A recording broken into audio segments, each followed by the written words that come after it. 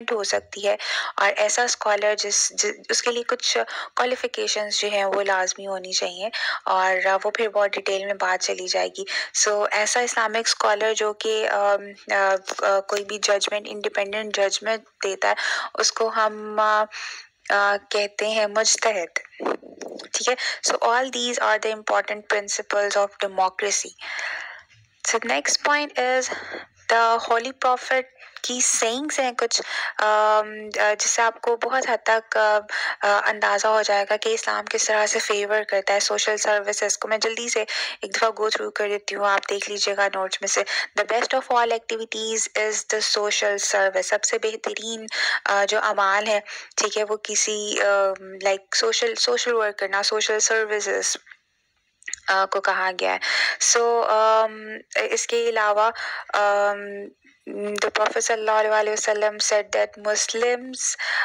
uh, to do good to their fellow beings and to recognize the rights and privacy of neighbors, neighbors की बात की हुई है and to help elevate the sufferings and hardships of underprivileged ऐसे लोग जो कि underprivileged हैं ठीक है जिनके पास वसाइल की कमी है uh, uh, and the victims of circumstances uh, हालात और वाक़यात जिनके अच्छे नहीं होते uh, so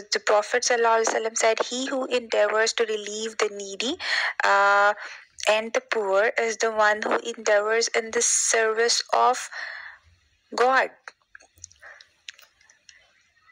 So Islamic society जो है, वो बेसिकली बहुत कंसिडर करती है या फोकस करती है म्यूचुअल हेल्प के ऊपर और every Muslim should be the helper and protector of every other Muslim in need Okay, the next point is Islam raised charity to a religious duty and has defined its scope and uses. Islam ने जो charity है उसको religious duty uh, के तौर पर define कर दिया है और uh, जैसे कि कुरान में कहा गया है कि um, um, uh, oh you believe oh, those who believe in God do not make your arms Worthless ठीक है? And by reminding people of them and by injury कि अगर आप किसी को चैरिटी करें, किसी को हेल्प आउट करें तो अपने आप जो आर्म्स हैं, वो ज़ाया नहीं करें, अपनी चैरिटी ज़ाया नहीं करें, उसको जिता कर दूसरों दूसरों को बार बार रिमाइंड करवा कर एहसान जतला कर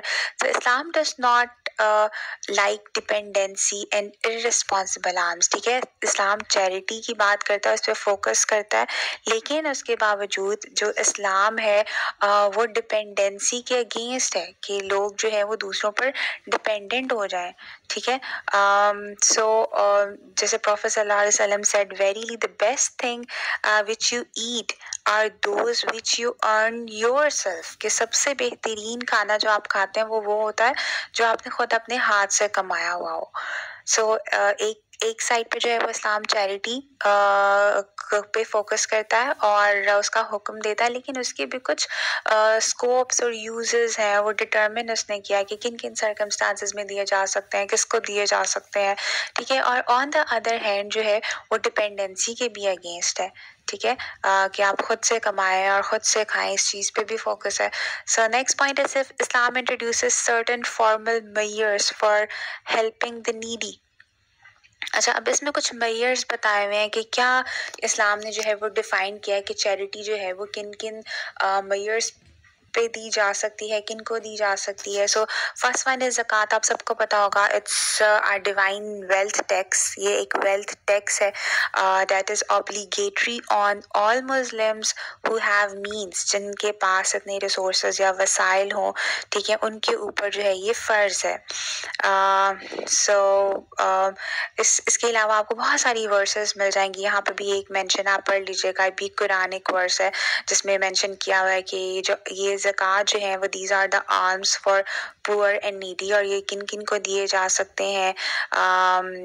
To those whose heart have recently reconcile to truth जो अभी um, बहुत नए नए मुसलमान हुए हों इसके अलावा टू दोज इन बॉन्डेज जो कैदी हों एंड इन डेप्थ जो कर्जे में हो और in the cause of God खुदा की राह में दिए जा सकते हैं एंड सो ऑन ठीक है ये आप देख लीजिएगा। एक दो वर्सेस यहाँ पर मेंशन की हुई हैं।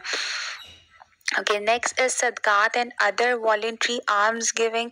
Okay, sadqat uh, उन उन उस चैरिटी में आ जाती है the charity that is considered as a token to express man's gratefulness for God's favour ठीक है ये हम किसी भी ऐसे ओकेजन पे दे सकते हैं जिसमें बहुत खुशी का ओकेजन है या बहुत क्लेमिटी है या आफत अगर आ गई है या बहुत परेशानी है उस परेशानी से निकलने के लिए जो है वो सदकात वगैरह दिए जाते हैं। किसी भी ऐसे फेलो मैन को, किसी भी ऐसे इंसान को, जिसको ज़रूरत हो ओके नेक्स्ट इसके अंदर mayor is Islam forbids extravagance gambling mendicancy and begging okay Islam जो है वो खिलाफ है किसके? फजूल खर्ची के एक्स्ट्रावेगेंसी गैम्बलिंग के, जुए के, ठीक है? Mendicancy is a state of being begging ठीक है? मांगने वाली स्टेज स्टेट uh, में जो भी इंसान हमेशा माँगता ही रहता है माँगता ही रहता है। ठीक है? इस्लाम इसके भी खिलाफ है इस्लाम डिपेंडेंसी के खिलाफ है एंड बैगिंग भिकारीपन के खिलाफ है। ठीक है?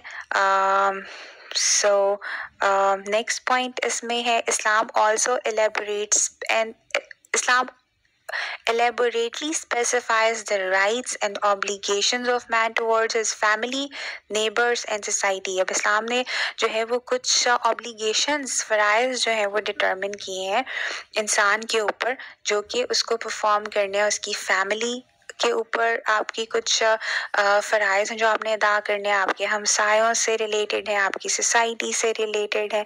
ठीक है, इसमें भी कुरानिक वर्स जो हैं वो एड हुई आप पढ़ लीजिएगा। And do good to parents and kins and folks and those in need and neighbours the professor the professor वसलम said by his in whose hand stands my life no servant of God really believes until he loves for his brother what loves for himself ठीक है?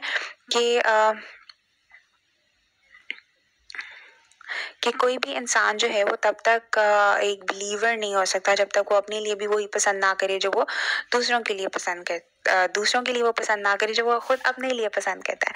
Sorry so he is not a believer who eats his full belly while his neighbour lies hungry अगर किसी का हमसाया जो है uh, वो भूखा है और ख़ुद uh, जो है वो किसी बिलीवर ने uh, किसी मुसलमान ने पेट भर के खा लिया तो वो जो है वो एक बिलीवर या मोमिन नहीं होगा। सो नेक्स्ट पॉइंट इज़ वक्फ। वक्फ इज़ समथिंग ये ऐसी चैरिटी ऐसी गिविंग या ऐसी डोनेशंस हैं जो कि दी जाती हैं अपने एसेट्स में से फॉर एग्जांपल जैसे कोई बिल्डिंग डोनेट कर दे, ठीक है हॉस्पिटल का कोई एक ब्लॉक डोनेट कर दे, आप कोई मशीनरी जो है वो किसी हॉस्पिटल में डोनेट कर दें फर्नीचर डोनेट कर दें। जैसे आपको याद होगा कि हज़रत उस्मान रसी तला ने एक यहूदी से पानी का कुआँ जो है वो लेकर ख़रीद कर जो है वो मुसलमानों के लिए वक्फ कर दिया था। So Waqf is that kind of charity so अब आप देखें कि ये ये सारी की सारी इस्लामिक प्रैक्टिसेस और आइडियाज़ जो हैं वो बहुत हद तक सिमिलर हैं। सोशल वेलफेयर के प्रोसेस से सोशल वर्क जिन वैल्यूज़ की बात करता है उनसे। लेकिन with the passage of time जब हम मॉडर्न सोसाइटी की बात करते हैं so modern society is increasingly becoming materialistic कि जो सोसाइटी है वो बहुत मटीरियलिस्टिक होती चली जा रही है। सो सिर्फ़ और सिर्फ़ रिलीजियस वैल्यूज़ के ऊपर हम रिलाय करके ये सब कुछ अचीव नहीं कर सकते। ठीक है? इसको थोड़ा सा फॉर्मल फ्रेमवर्क देना पड़ेगा। जैसे कि the government of Pakistan has been directed by the constitution to take adequate measures ठीक है? हमें कॉन्स्टिट्यूशन बनाने हैं हमें लॉज बनाने हैं। Um, जैसे कि ज़क़़त के बारे में सेइंग है कि it it's payment as a duty and it's receiving is a right ठीक है कि अगर कोई ज़क़़त नहीं देता तो ये आपके गवर्नमेंट की या आपके ऊपर जो भी रूल कर रहा है, ठीक है, उनकी रिस्पॉन्सिबिलिटी है कि वो आपसे ज़क़़त लें। ठीक है सो ये एक राइट है और ऑब्लिगेशन भी है इसको देना। सो लिहाजा जो इस्लामिक प्रिंसिपल हैं, वो इनकम्पैटिबल हैं सोशल वर्क के साथ, क्योंकि इस्लाम भी बात करता है कलेक्टिव एफर्ट्स की कम्युनिटी प्रॉब्लम्स को सॉर्ट आउट करने की और इसके ऊपर जो है वो लेजिस्लेशन की ज़रूरत है जो कि गवर्नमेंट ऑफ़ पाकिस्तान को करनी चाहिए। So this is all about the philosophy अभी एक बहुत पूरा लॉन्ग क्वेश्चन है, ये मैं आपको फिर